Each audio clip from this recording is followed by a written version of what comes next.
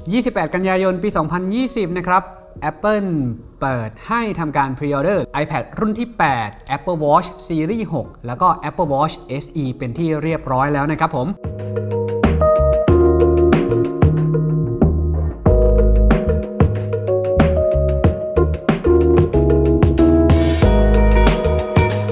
สวัสดีครับ ผมต้อมไอมดนะครับ อัปเดตล่าสุดในวันนี้นะครับผม 28 กันยายน ปี 2020 นะครับ หลังจากที่ทาง Apple เปิดตัว iPad รุ่นที่ 8 Apple Watch Series 6 Apple Watch SE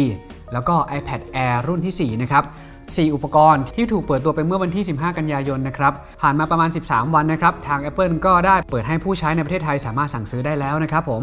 โดยอุปกรณ์ทั้ง 3 รุ่นที่ให้พรีออเดอร์รุ่นนี้ก็จะประกอบไปด้วย iPad รุ่นที่ 8 Apple Watch Series 6 แล้วก็ Apple Watch SE นะครับ ในราคาเริ่มต้นครับผมสำหรับ iPad รุ่นที่ 8 นั้น ราคาเริ่มต้นความจุ 32 g b จะอยู่ที่ 10,000กับ900 บาทนะครับ ส่วนความจุ 128 g b นะครับ ราคาจะอยู่ที่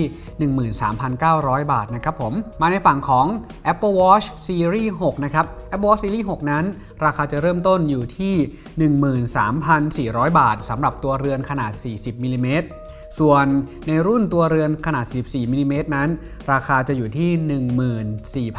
14,400 บาทนะครับ ทั้งนี้ราคาของ Apple Watch Series 6 นั้น จะแตกต่างกันออกไปขึ้นอยู่กับขนาดของตัวเรือนครับ 40 กับ 44มิลลิเมตรราคาจะต่างกัน ชนิดของตัวเรือนด้วยครับว่าวัสดุจะใช้แบบไหน ถ้าเป็นอลูมิเนียมจะถูกที่สุดครับ อย่างที่บอกครับคือเริ่มต้น 13,400 บาท แต่ถ้าอัปเกรดเป็น stainless steel ก็จะมีราคา up สูงขึ้นไปอีก อัปเกรดเป็นตัวเรือนที่เป็นไทเทเนียมก็จะแพงขึ้นไปอีก แล้วถ้าเป็นซีรีส์ของอย่าง Apple Watch Air m a d e นะครับก็จะแพงขึ้นไปอีกนะครับ ยังไงเราก็ต้องไปเช็คในตัวเว็บไซต์อีกทีนึงนอกจากนี้ครับราคานั้นจะแปรผันไปตามเรื่องของสายด้วยนะครับ ถ้าสายปกติทั่วไปอย่างเช่นพวกสาย Sport Band Sport Loop นะครับ ราคาจะอยู่พื้นฐานครับ อยู่ที่ 13,400 บาท 14,400 บาท ถือว่าถูกที่สุดละ แต่ถ้าสมมติว่าเราเลือกเป็นรุ่นอื่นๆนะครับ อย่างเช่นสายหนังหรือว่าสาย Solo Loop แบบใหม่นะครับ สาย Solo Loop แบบสายถัก ราคาก็จะอัปเกรดขึ้นไป ยิ่งเป็นสายหนังก็จะแพงขึ้นไปอีกนะครับ สิ่งที่ผมอยากจะแนะนำเวลาที่เราจะสั่งซื้อ Apple Watch ทั้ง 2 รุ่นเลย แนะนำว่าให้ทำผ่านช่องทางของเว็บไซต์ที่ applestore.com/th นะครับ หรือเราอาจจะทำผ่านแอปพลิเคชัน Apple Store ก็ได้ ในแอปเหล่านั้นครับ จะมีเมนูที่ชื่อว่า Watch Studio นะครับ ในส่วนนี้จะทำให้เรานั้นสามารถ config หรือว่าปรับแต่ง Apple Watch ที่เราต้องการได้ ยกตัวอย่างเช่น เราอยากได้ตัวเรือนขนาดเท่าไหร่ เราอยากได้สายชนิดแบบไหน เราอยากได้รูปแบบของตัวเรือนใช้วัสดุอะไร เราสามารถปรับแต่งได้เลยนะครับ เพราะว่าถ้าในเว็บไซต์เขาจะบอกรุ่นที่พร้อมเซตมาแล้วอะอย่างเช่น ตัวเรือนสีนี้ คู่กับสายสีนี้ แต่ว่าถ้าเราอยากจะปรับให้ได้ตามใจของเรานะครับเราสามารถใช้ feature ที่ผมบอกได้นะครับชื่อว่า Watch Studio ในแอปที่ชื่อว่า Apple Store นะครับไปดาวน์โหลดได้ฟรีที่ App Store ส่วน Apple Watch SE ครับก็สั่งได้แล้วเช่นกันนะครับ ราคาเริ่มต้นจะอยู่ที่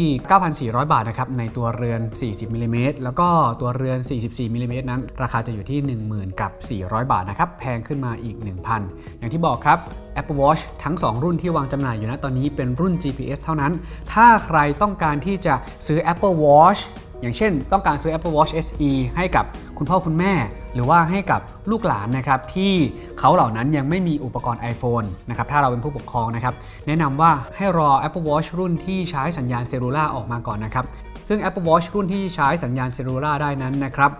จะสามารถใช้ฟีเจอร์ Family Setup หรือว่าการตั้งค่าครอบครัวได้นะครับ สมมุติพ่อแม่เนี่ยซื้อ Apple Watch ให้ลูกที่กำลังจะไปโรงเรียนนะครับ ลูกของเราสามารถที่จะสวมใส่ Apple Watch ตรงนั้นได้นะครับ แล้วก็สามารถใช้งานฟังก์ชันต่างๆ ได้นะครับ การเชื่อมต่อพวกอินเทอร์เน็ตต่างๆ พวกสัญญาณมือถือต่างๆ นะครับ มันก็จะเข้าผ่านทาง eSIM เขาจะสามารถทำกิจกรรมอะไรต่างๆ ได้ โดยที่เขาเหล่านั้นไม่ต้องพก iPhone นะครับผม ส่วน iPad Air รุ่นที่ 4 นะตอนนี้ยังไม่ได้มีกำหนดการวางขายนะครับ เดี๋ยวเราค่อยมาติดตามกันอีกทีในช่วงเดือนตุลาคม เพราะทาง Apple ได้แจ้งไว้นะครับว่าใน iPad Air รุ่นที่ 4 นั้น จะวางขายในช่วงราวๆตุลาคมนะครับ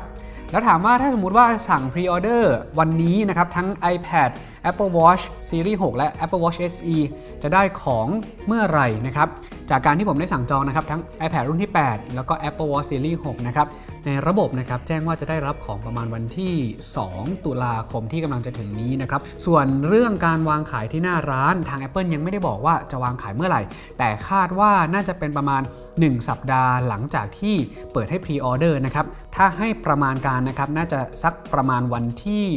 5 หรือว่า 6 ตุลาที่กำลังจะถึงนี้นะครับ สินค้าถึงจะมีวางที่หน้าร้าน Apple Store นะครับ ทั้งฝั่ง Apple Central World แล้วก็ Apple Iconsiam นอกจากนี้ก็อาจจะวางที่หน้าร้านของทางฝั่งร้านตัวแทนจำหน่าย เดี๋ยวยังไงถ้ามีความคืบหน้าเกี่ยวกับเรื่องนั้น ทางเราจะมาอัปเดตให้ทราบกันอย่างต่อเนื่องนะครับ โอเคครับ ฝากไว้เพียงเท่านี้ครับ ผมต้องไอ้มดขอตัวลาไปก่อน ไว้พบกันในรอบหน้า สวัสดีครับ